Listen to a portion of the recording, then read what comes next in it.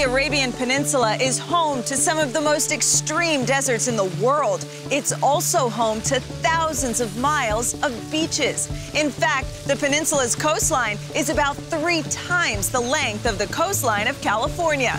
And those beaches are where some of the most incredible animals on the planet follow their ancient instincts to continue the circle of life.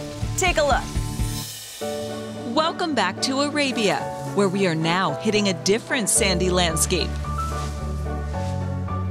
Green turtles use the cover of Arabia's night to dig their nests. The depth and position is critical. It needs to be deep enough to protect the helpless eggs, but it also determines the gender of the babies inside.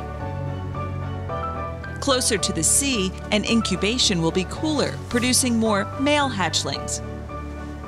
Farther up the beach, the eggs will be warmer and they will hold more females.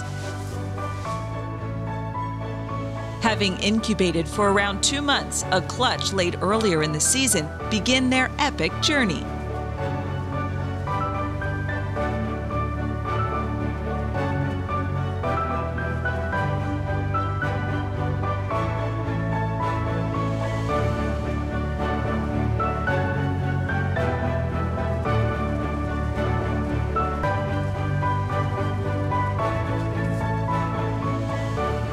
Darkness provides a cloak of safety as they follow the natural light of the horizon to the sea.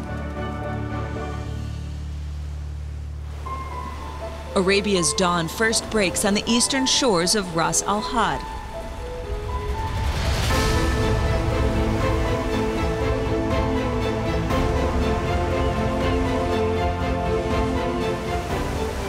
As the last expectant mothers return to the sea, predators take to the skies.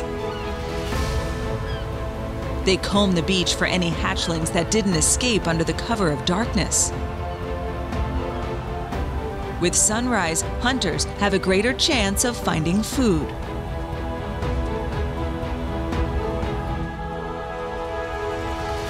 Within minutes of surfacing, the late youngster races for its life, but is totally exposed.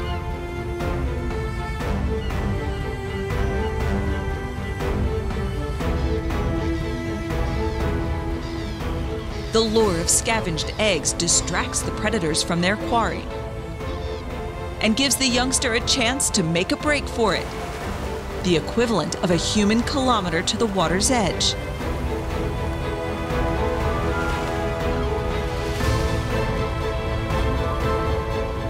Yet, with estimates of only one in a thousand making it to adulthood, facing the uncertainty of the Arabian Sea, his greatest trick may still be in front of this little turtle tot.